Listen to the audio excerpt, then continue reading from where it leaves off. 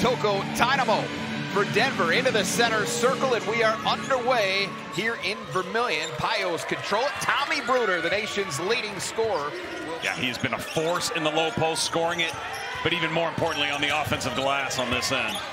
Max Burchill into the paint. Late shot clock gets the shooter's touch, and the Coyotes are on the board first.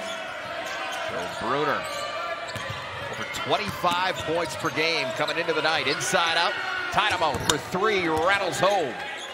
Coyotes get it into the post. Here's Thioune. Working on Tainamo, hits the deck there. Little hook shot up and over. Addo Ankra came over to try and help out. Should be the game for you tonight. Well, both these teams not afraid to play high possession games. Tainamo tries it again. He's got two already. And the Pioneers are back in front. Little floater. Good for Bostyn Holt. Well, Jay Tainamo in their last game against Oral Roberts, he only had four points. Really struggled there. He's going to take another one. Three oh boy. for three for the big man from Denver. Javon Hill will go back into the reserve role tonight. That's an encouraging sign. And controlled by Tainamo, and now Bruner will walk it up the floor for the Pioneers. So all that talk about Tommy Bruner and Caleb Stewart, zero combined points thus far. Yeah, it's been the role players. Boy, how about this start for Denver? He's getting a little, uh, he was making a gesture to the crowd after those first three makes as Burchill cans a three on the other end. And uh, so those cheers you probably picked up after that last did foul out of that game at 15 points, eight rebounds before that happened in regulation as Tainamo goes back to work inside. And Denver resets with a fresh 20 here. You see, you see the effect of not having Lahat Thioune out there already on the boards. Inside and a nice feed that time from DeAndre Craig. Didn't have to get up high to lay that one in.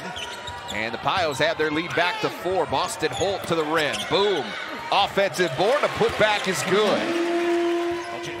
So Craig picks up his dribble just inside the stripe, and now they swing it back outside. Bruner deep three, NBA range, and then some. And his first shot falls. And now Bruns quickly into the front court. Right to the rim, going at the shot blocker Carr. I think he did get a piece of that. Denver's calling card, like we mentioned, is their offense, but defensively, they've had their struggles. Inside DeAndre Craig. What a find there from Bruner. On Denver has eight made baskets in this first half, and Bruner's assisted on four. Paul Bruns from the corner. Paul Bruns has been picking it up. He went through a, a, long drought there where he was struggling to shoot the basketball, and now he's looking to turn defense into offense, and he's got five straight points. Tommy Bruner, see it here as Bruner came down maybe on a foot there as it got cut off as he left the frame there. So DeAndre Craig with it now. On the drive, little teardrop, no, and Carr. Now Carr is hobbled here as he tried to go in for a tap in. So Brenchley, transfer from Utah with it now. He'll spot up and shoot it from deep, splashes it home. And Denver shot is off the mark now. Stewart hits the accelerator all the way to the rim, to the deck. No call is made. Stewart's asking to come out of the game, Jay. He's wincing out there in pain for holding his ribs. Yeah. And now a three for Garf, and Eric Peterson uses a timeout. I mean, Caleb Stewart went down in a heap. Hold shot, excuse me there. They kind of baited him into that three-point attempt. Brenchley, tough one through contact, scores.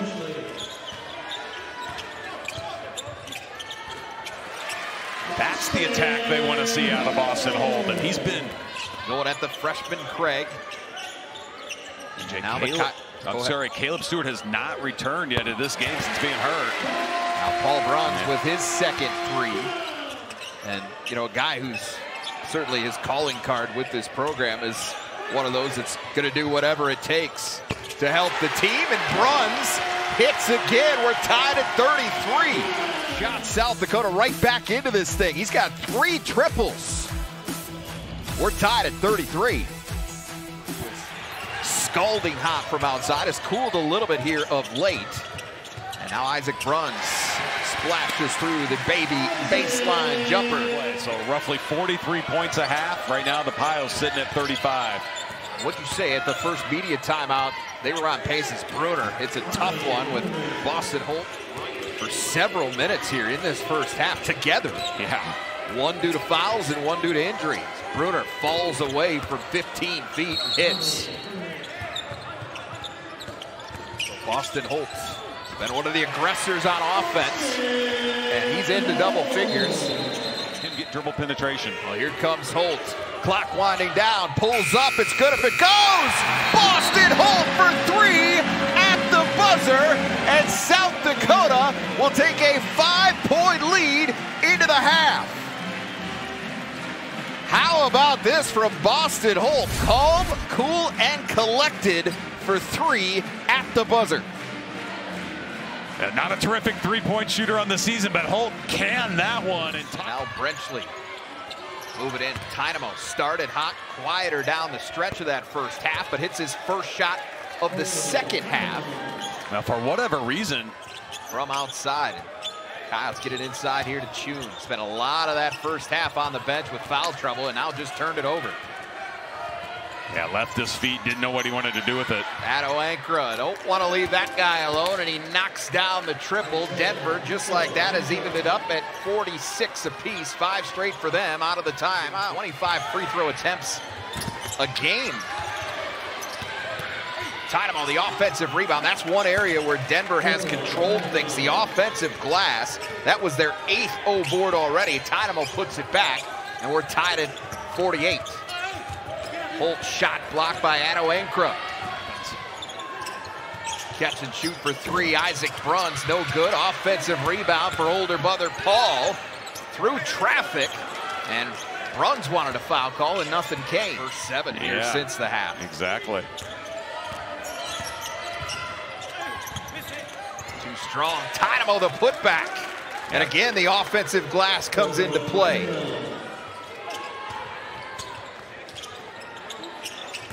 Thought about it. Into the paint, over the outstretched hands of the seven-footer Isaiah Carr, and Max Burchill connects. Back to Bruner. He managed to eclipse a thousand points at Denver in just 52 games. That's ridiculous. and now he's the leading scorer, and he's approaching another second chance for the Pios here. Brenchley, what a move! Lays it in and swirls it home. Denver takes a four-point lead in part to a nifty finish like that one right there. In this game, they're going to look to offensive glass as one of the reasons why. They've given a really good offensive team too many second chances. They're consistently getting into the paint yeah. and having that look from eight feet. They gave way to the big fella. Thioune the offensive rebound. He gets a putback. Tainamo puts it on the deck, working on Burchill. Tough shot there from the elbow from Toko Tainamo. Been at Kansas City at Oral Roberts now tonight here in Vermillion. But they've got four of their next five at home, and so they've hit a bit of a skid. I don't think he'll be on that Denver bench very long with the way he's played tonight. They're going to need him out there. Shooting off the inbound, up and over. That's a really good matchup. South Dakota had the advantage. Oh, this is not a good switch for USD. I mean, that's a that's a good shot from Bruner, but I, I tell you what, Brack handled it okay. Look how they isolate Bruner, give him space to operate. Backdoor Lopez San Vicente, and Holt just kind of let him go there. He got. Uh, how about Bruner? Six assists. Thioune tried to pass out of a double team. It didn't work. Addo back the other way, and a lay-in is good. And by the way, South Dakota, who's had its struggles in the turnover department all season, that was just their sixth of the night, but it was a, about when they happen yeah. sometimes.